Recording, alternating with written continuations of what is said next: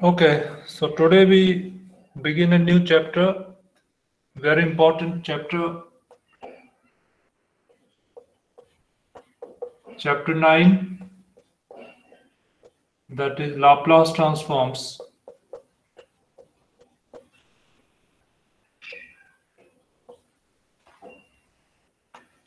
So let's first see what is a Laplace transform.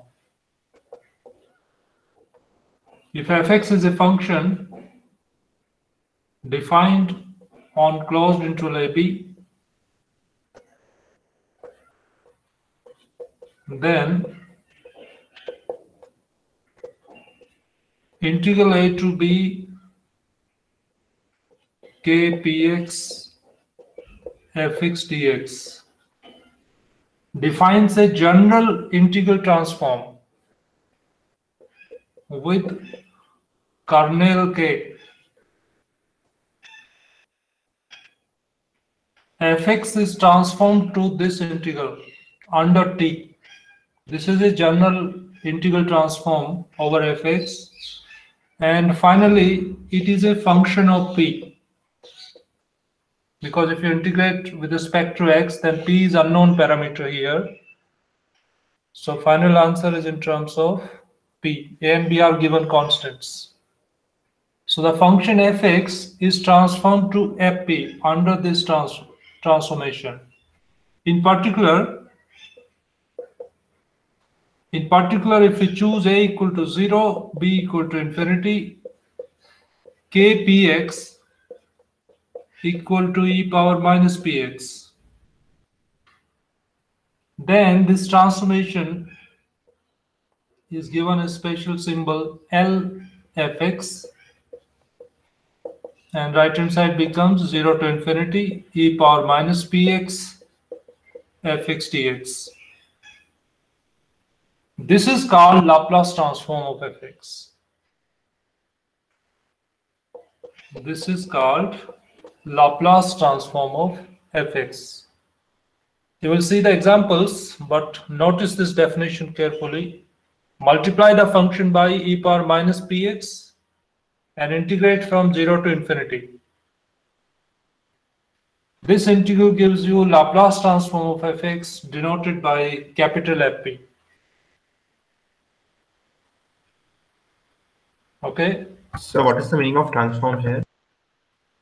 the function is fx, but after this transformation, it is going to fp. Isn't it? Yes. You can say that the function fx correspond to fp under this transformation. So Laplace, this is basically Laplace transform.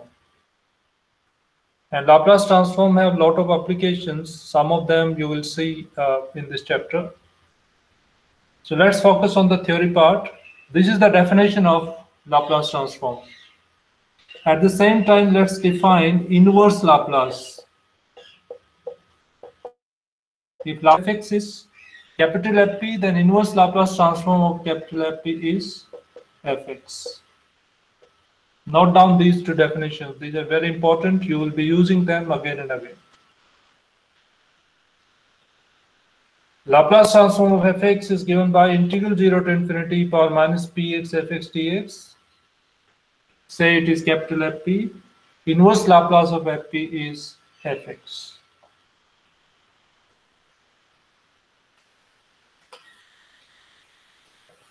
Before we find Laplace transforms of elementary functions, notice this important property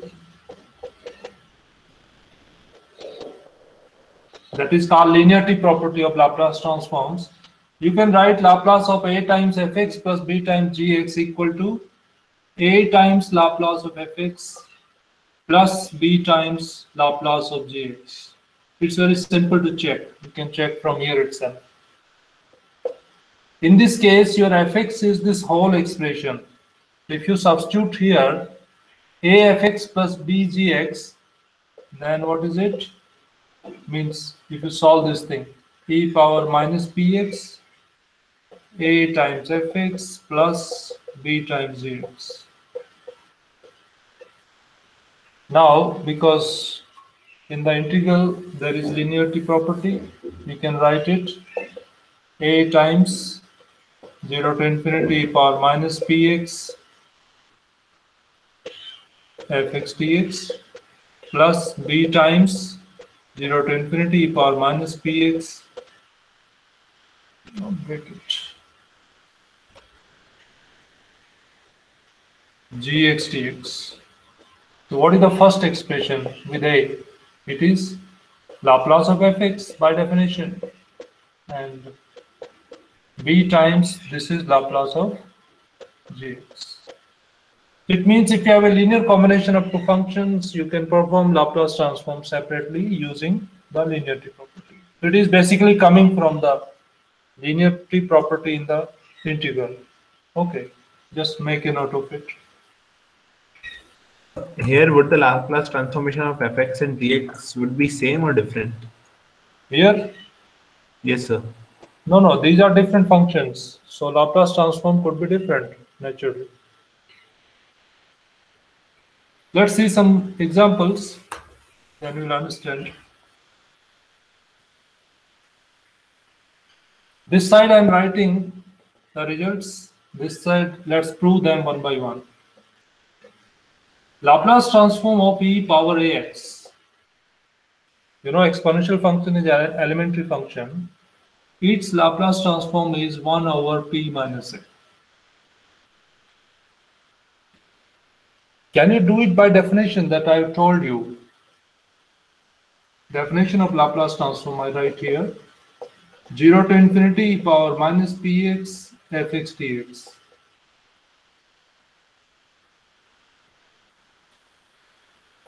So if we use this definition of Laplace transform for exponential function, what do we get? Let's solve it. 0 to infinity e power minus px e power ax dx. Right? Just fx is replaced by e power ax. Now we need to simplify this integral. So it can be written as e power minus p minus a into x. Okay, it's simple integral. You can write e power minus p ax over over minus p minus a. Limit 0 to infinity. What happens at infinity? Vanishes. Vanishes provided. E minus a is not zero. P minus a is positive actually. P greater than a. So this Laplace transform exists provided P greater than a. Okay, so we have done nothing, just we have followed the definition, and in that definition, in place of fx, we have used e power ax, simplified the integral, and got this Laplace transform. Okay, so it is a standard formula. You can use this directly in the problems later. Next, Laplace transform of x power n. It is gamma n plus 1 over n plus 1 factorial. Can you do this yourself? Because procedure is same. Now in place of e power ax, it is x power n. Here x power n. You have to manage the solution of this integral, that's it.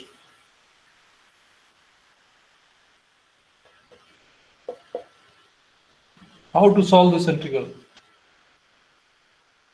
Take minus px as p and then Let me remind you the gamma function that we did in the previous chapter. Gamma n is what? 0 to infinity e power minus x x power n minus 1 dx.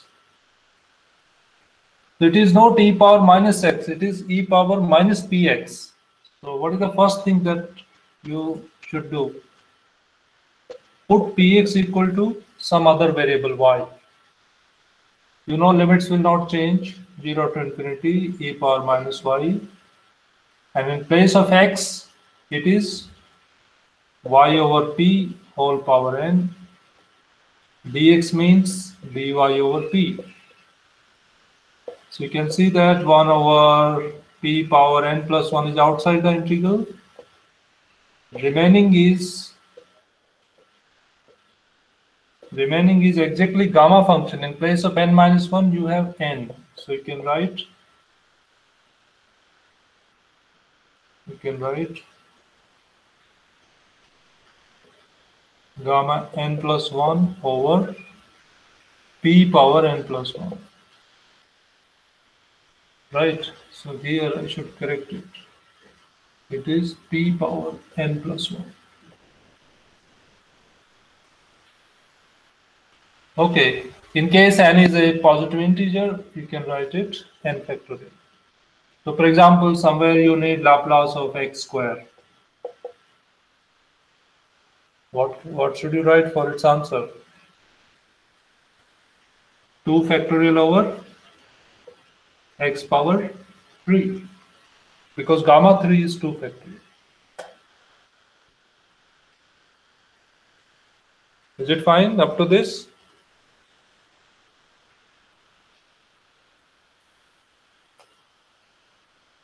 So you have derived Laplace transform of x power n. Next, Laplace transform of sine x and Laplace transform of cos ax, sine and cosine functions. It should be a over p square plus a square and it should be p over p square plus a square. Let's see. Laplace transform of sine x. How can we find? One way is go by definition, but there is another way also that is more simpler than that. What is that? I can write sine ax in the form e power iota ax minus e power minus iota ax divided by 2 iota.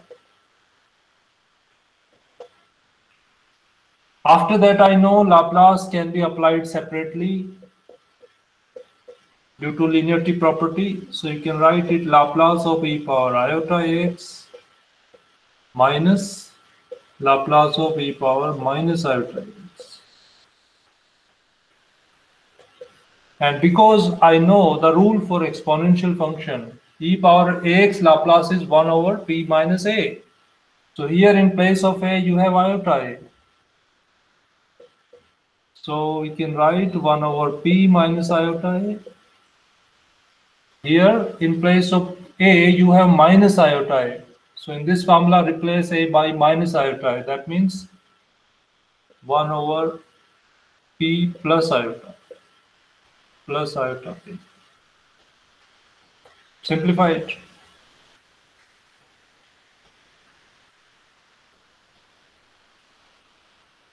What do you get? Do you get this formula?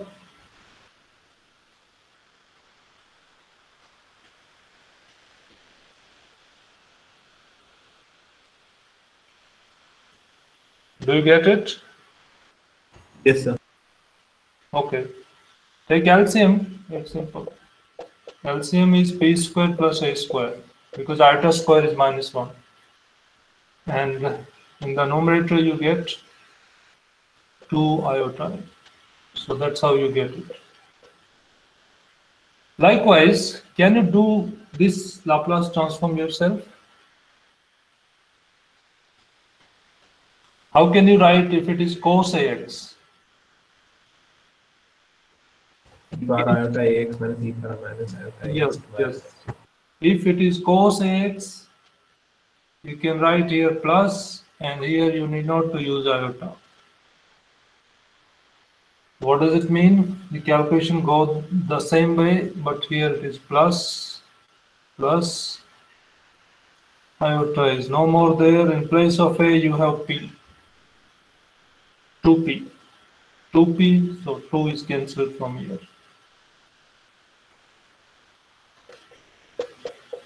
Okay, so cosine AX is similar to sine AX.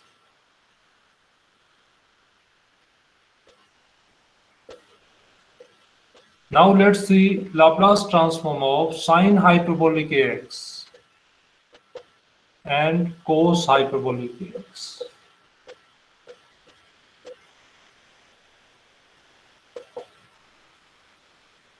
What happens if it is sine hyperbolic AX? Can you manage this yourself?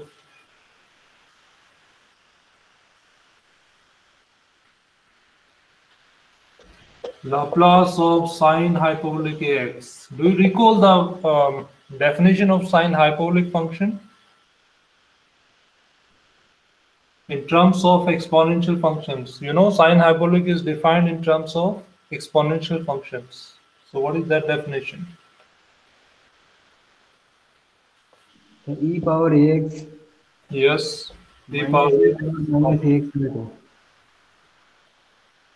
E power minus ax divided by 2. Is it? Yes, sir. Okay, so do it further yourself. Tell me what should be here.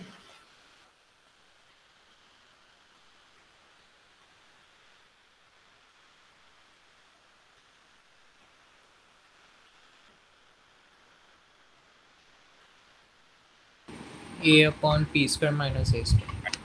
a upon p square minus a square. Similarly, you can understand for cosine ax it would be p over p square minus a square. So in case of hyperbolic and without hyperbolic, difference of minus sign. Just notice that.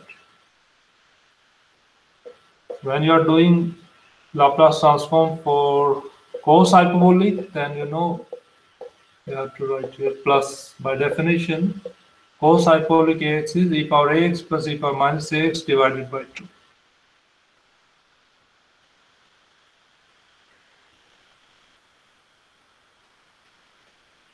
Okay, so you have learned Laplace transforms of some elementary functions. Now let's see some examples where you can use these standard formulas directly. Suppose you are asked to find Laplace transform of sine square x. So how can you manage it? So sine square can be written as 1 minus cos 2x divided by 2 Good. and then using the results. Use the results. By the way, what is Laplace of 1? From here, can you say something? Laplace of 1 is 1 by 1 point p. 1 upon p. 1 upon p because here you need it for constant. You can write it Laplace of 1 minus Laplace of cos 2x by linearity property and then Laplace of 1 is 1 over p minus Laplace of cos 2x. You need to use this with a equal to 2. So p over p square plus 4 because I used to.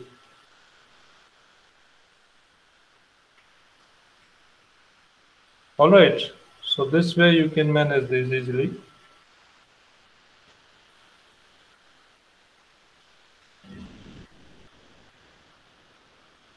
At the same time, you may need to find inverse Laplace transform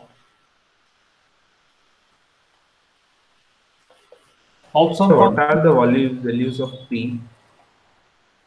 sorry What are the values of P? P is a parameter, unknown parameter. We will use it. It's a constant, okay? As I told you in the beginning, when you perform Laplace transform of fx, it goes to the function of p that we denoted by capital FP. Okay, so you will understand soon what is the advantage of this p. So fx is transformed to capital FP. That's the thing. Under this transformation. Okay. Suppose I ask you find inverse Laplace of 1 over p minus 2. So what will you answer? e power 2x. e power 2x. e power 2x because you know Laplace of e power 2x is 1 over p minus 2. Now next, suppose I need inverse Laplace of 1 over p square plus 2. What is its answer? To sin root 2x. You will see here which formula is applicable. Sir, so we'll put a is equal to root 2. You will match with some of the formula, right? Yes, sir, we'll put a is equal to root 2. You can write it like this 1 over root 2, root multiply and divide by root 2. It will not make any difference. Now, this thing you are saying Fine, yeah. clearly it is a over a over p square plus a square means first formula this formula number three is applicable. So you can write it sine Sine root 2x root 2x. Okay, let me ask you one more. That is a simple one. Suppose you are given Laplace inverse 1 over p, p power 4 plus p square. How to manage Partial fractions. it? Yes, do it. Then sir, अलग अलग हो जाएगा for a is equal to 0 and a is equal to 1. x minus sin x. First, you will write it p square into p square plus 1. Then you are able to see that this can be written as sum of sum of 1 over p square minus 1 over p square plus 1, right? You have made partial fractions so that you can do inverse Laplace separately. So 1 over p square is Laplace of what? Sin x 1 over p square. x 0. See here, see here. What should I use? n equal to? Sir, but in third formula, why can't we put a is equal to 0? Where? You will get the same thing. Sorry, sir. Okay, okay. sir. Yes. 1 over p square inverse Laplace is? X. Hmm? See here, what should I use? x. x, yes, x. And 1 over p square plus 1 is Laplace of Sin x. sin x. So this is the final answer for this. x minus sin x. Okay, so these are simple. Finding Laplace transform, inverse Laplace transform. That thus you have to just you have to manipulate the given function in a suitable form so that you can apply these formulas.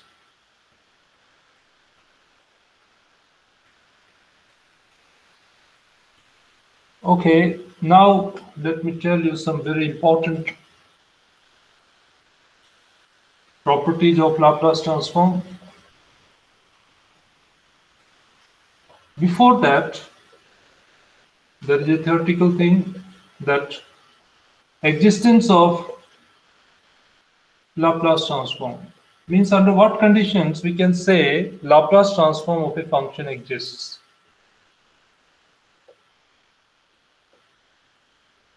So see, there are two conditions. Number one, fx is piecewise continuous. Piecewise continuous, I think you understand. A function which is uh, piecewise continuous over an interval means it is continuous except some finite number of points in that interval, or you can say it is continuous on pieces. Second, there exist some constants capital M and say some constant C such that mod fx is less than equal to m times cx for all x in the domain of the function of x. This property we call that the function is of exponential order because right side is exponential. So function cannot grow more than the exponential function. So we call it exponential order function. under these two conditions, if these two conditions are satisfied, then Laplace of fx exists for for p greater than c. Under the means these two conditions are satisfied, then Laplace transform of fx always exists provided p is greater than c. Proof is very simple. Let's do it. It's one line proof. What is Laplace transform of a function? Is capital FP and by definition it is integral 0 to infinity e power minus px fx dx. So what if I take modulus of this? It would be less than equal to this is always positive mod fx. This is further less than equal to 0 to infinity e power minus px. Mod fx from condition 2 can be replaced by m times e power cx. This is equal to m times 0 to infinity e power minus p minus c times x dx. You know this integral exists only when p is greater than c. This is finite. In fact, what is the answer of this integral? Let's write it. Its, its answer is m times, already you have seen, 1 over p minus c. This exists when p is greater than c, right? So mode of Laplace Here M and C both are constants. Sorry, M and C both are constants. yes, both are constants. And sir, in the first step, mod L uh, transformation of fx, uh, how come there is inequality in the first step? Which step? You are talking this step? Yes, sir. No, it is a general result in integral calculus. Okay, you can find it. You can always take mod inside and then you can write less than. Main thing is that modulus of Laplace transform of fx is less than equal to a finite number. It means this integral is convergent. It means Laplace transform exists. Because, you know, it is uh, uh, uh, indefinite, or you can say the integral carrying infinite sign, infinity. Over an infinite interval, you are seeing that this integral is convergent because it is bounded by a finite number. It means this is also finite and this exists. Okay, so this is a theoretical condition, but remember that this is one way, not the other way. One way means these conditions are sufficient only. Means if these conditions are satisfied, Laplace transform exists, but it's not other way around. Means there may exist a function carrying its Laplace transform, but these conditions are not satisfied. Let's see an example.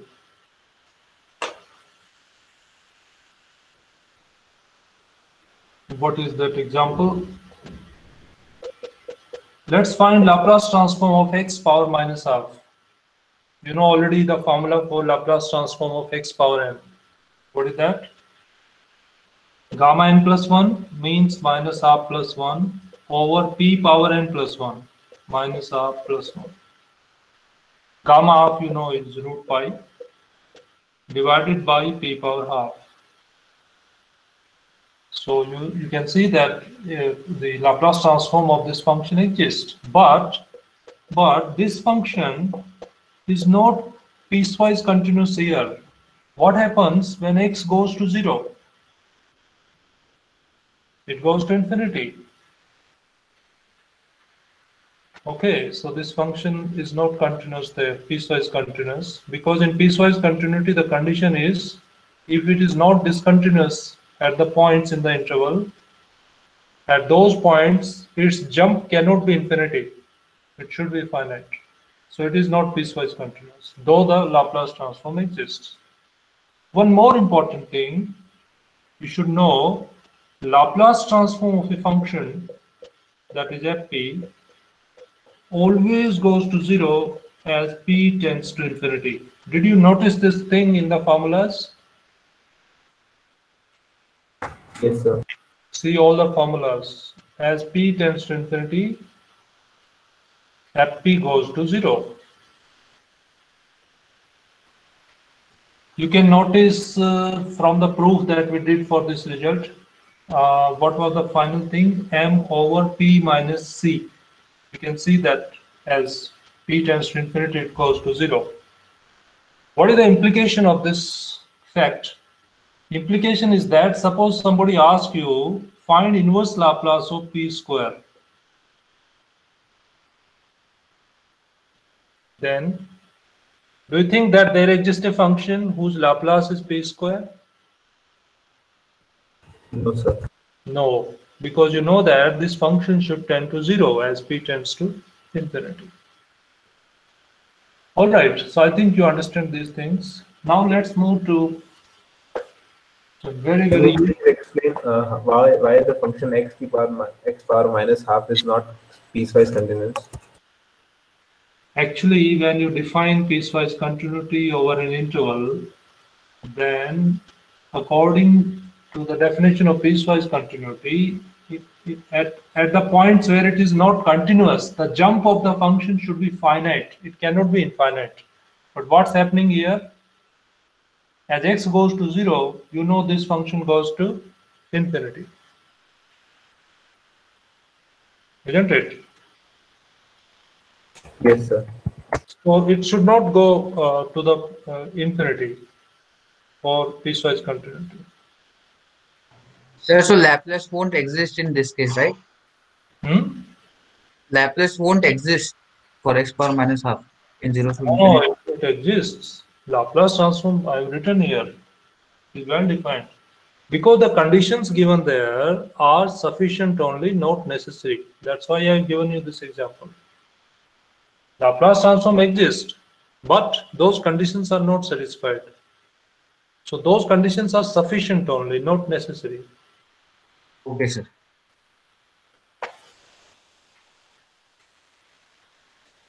Now some very, very important properties. Learn these carefully.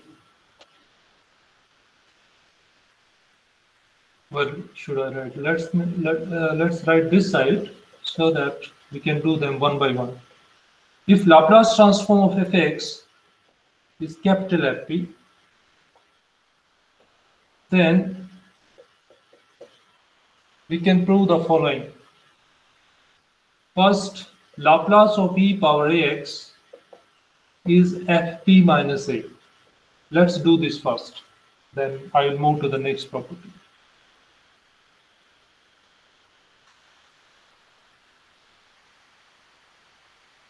First transform of e power ax. By definition, you can move 0 to infinity e power minus px in place of fx. What do you have? e power ax. This you can write as no, Sir, fx should be no, no, no. Just Let me do the correction here. It is e power ax into fx. Because e power ax Laplace we already know. So I was missing fx thing. Okay, now it's fine. Okay, now do it. So what do we get? e power minus p minus a x fx dx. Correct? So you see it is also Laplace of fx by definition. What do you write for Laplace of fx? You write 0 to infinity e power minus px fx dx. What is the difference in these two? The parameter p is replaced by p minus a. You know p is any parameter. So this constant is replaced by p minus a. It means here you can write simply fp minus a. So this is the effect of multiplying the function fx by e power ax. This is called first shifting rule or shifting theorem.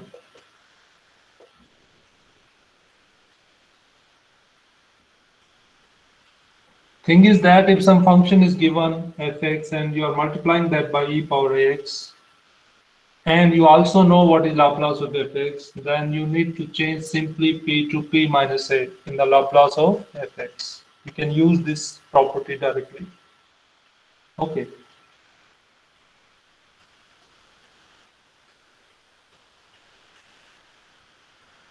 Let's do a problem also so that you can understand it.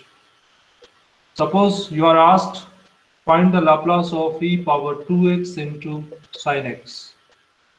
How are you going to do it? Multiply the function by e power minus So because, because you know the Laplace of sine x, you have a standard formula. It's 1 over p square plus 1. So because this function is multiplied by e power 2x, so what will be the effect on right hand side? Just you need to make that effect. What should I do? Because of this property. p minus 2 Yes. Replace p by p minus. p minus 2 whole square plus 1. Just change p to p minus a because of the shifting property. Okay, so that's how it is useful, this, this property. If you have a function, you know its Laplace, and suppose that function is multiplied by exponential function, you can use the shifting rule. Okay, next property. Laplace of f prime x is given by pfp minus f0. Likewise, Laplace of f double prime x is p square fp minus p f0 minus f prime 0.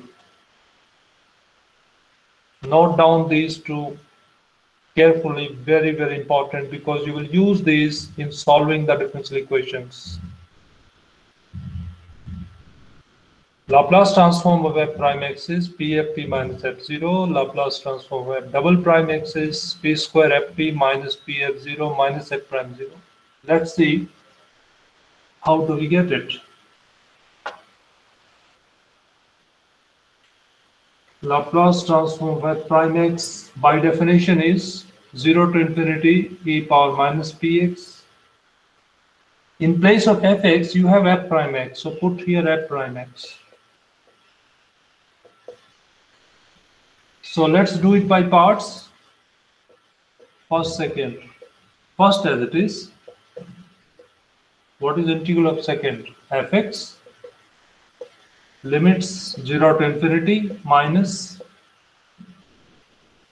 differentiation of first one that means minus p e power minus px integral of second fx. If you apply x going to infinity, this is 0. We assume p positive. So upper limit gives you 0, lower limit gives you f is 0 because e power 0 is 1 minus minus minus equals plus. Plus p times what is that integral? Laplace of fx if p is out this integral is Laplace of fx isn't it? So I can write capital F that's what you need in the first one okay so same way you can do the second one just do here f double prime there will be one extra step you have to do by parts two times. Okay, but remember that these are very, very important. You will use these definitely in the exam for solving differential equations. So you will do the proof of second one yourself. Okay, it's similar to this one. Shall I move to the next property? Yes, sir. Let's finish the properties today. So problems we will take in the next lecture. Next is Laplace transform of 0 to x ft dt. It is fp over p.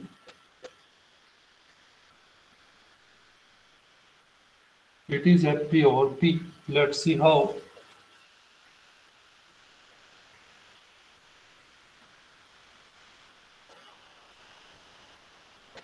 Proof of this one. Suppose gx is 0 to x ft. So basically we are interested in finding Laplace of gx equal to fp over p. So if gx is this, what is g prime x? Can you tell me? Huh? Then it is fx, fx. fx. By which theorem? Leibniz rule. Yes, a Leibniz rule. Leibniz rule. Or it is some fundamental theorem of calculus. Okay, anyway, you know this. This is g prime x is fx. So let's take Laplace transform on both sides. For derivative, now you know the rule. This is the rule for finding Laplace of the derivative. So what should I write? P times fp, Laplace of fx. Here you will say Laplace of gx minus z0 equal to capital Fp. Laplace of fx we are denoting by capital Fp here. Okay, g0 is what from here? 0, 0 to 0, 0. So what is Laplace of gx? Take this p to the right side. Fp over p. So as you see, proof is simple. So in derivative, p is multiplied with fp. In uh, integration, it is divided by p. Two more properties, then we are done. Property number four. What happens if the function is multiplied by x? The effect is minus 1 df over dp means this function is differentiated with respect to p and minus 1 is multiplied. Let's see how this happens.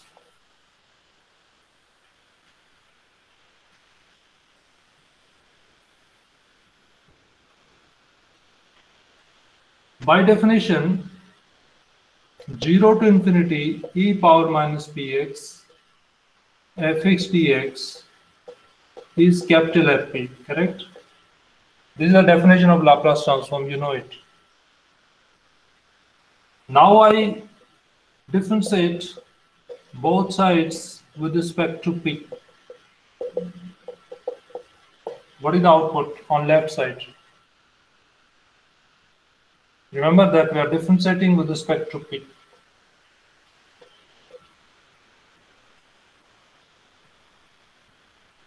derivative of p because p is p is carried by this e power minus px function only. So differentiation of this happens other things are constant. So we can write minus x times e power minus px fx dx this is left side. Right hand side f prime p. Or you can write df over dp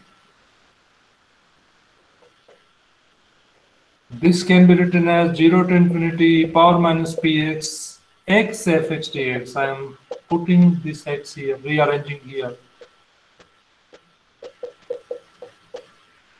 You can write it df over dp or simply f prime. What is this? The left hand side is what? Laplace of x, fx. Yes, in place of x, you are seeing fx, you are seeing x times fx. So it is Laplace of x fx. That's what you are looking for. In fact, if I multiply it by x square, the effect would be minus 1 square d2f over dp square. Okay, so whatever power of x you multiply here, right hand side would be minus 1 that power of x into that time that number of times derivative of f with respect to p this is the effect of multiplication by x final property, what happens if we divide fx by p? Sorry, fx by x. Then the effect is integrate this function from p to infinity, fp dp, or you can use some other variable, say dt, because p is involved in the limit. So to avoid confusion, use some other variable. Let's see this also. Why do we get such a result? Proof of property number 5. Let fx over x is gx. So what is x gx? fx. Now take Laplace transform on both sides. Your final purpose is to obtain Laplace of gx.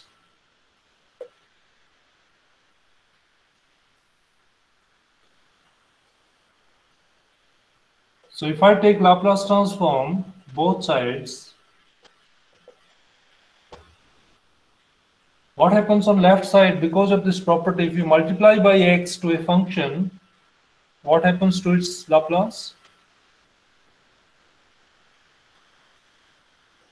Minus 1 times d capital G by dp. capital G or you can simply write Laplace of G. No, no. I should write capital GP because with multiplication by x means derivative also you need to write.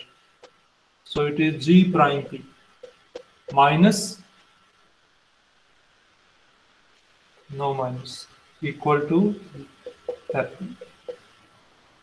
Because effect of x is differentiate the Laplace of this function that is g prime p and multiply by minus 1. I think it is clear. This you can write as z prime p equal to minus fp. Okay. Now let's integrate both sides from p to infinity. p to infinity. See what you get on the right side integral p to infinity fpdp or you want to use other variable it's fine so what is integral of g prime p? It is gp upper limit g infinity lower limit gp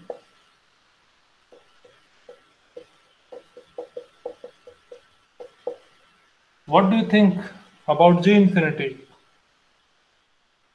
What is the value of g infinity? Zero. why Because Laplace is, sir, you told just one, one property, right? yes yes fp goes to 0 as p tends to infinity. So it is 0.